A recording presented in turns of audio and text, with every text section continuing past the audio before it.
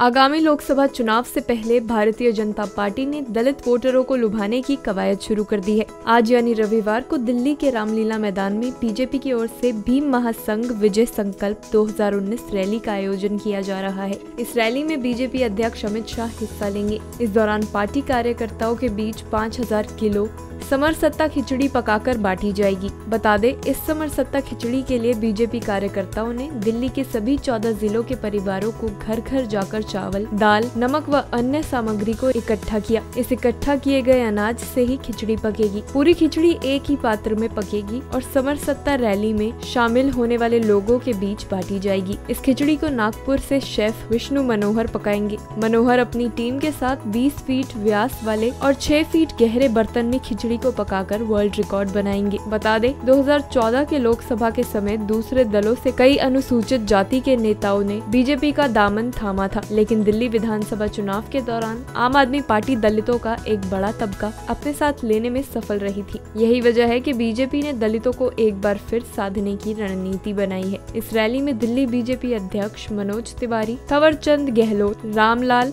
श्याम जातू समेत कई वरिष्ठ नेता शामिल होंगे। चावल और दाल इकट्ठा करने के दौरान भाजपा अनुसूचित जनजाति मोर्चे के कार्यकर्ताओं ने 14 लाख पर्चे बांटे और मोदी सरकार की जन कल्याणकारी योजनाओं का प्रचार प्रसार किया। दिल्ली भाजपा अनुसूचित जाति मोर्चा के अध्यक्ष मोहनलाल गिहारी ने कहा कि घर घर जाकर मुट्ठी भर दाल चावल लाने की ज़िम्मेदारी अच्छी तरह से निभाई गई है। भीम महासंगम 2019 में प्रधानमंत्री नरेंद्र मोदी को देश की सत्ता पुनः सौंपने का संकल्प हर कार्यकर्ता करेगा।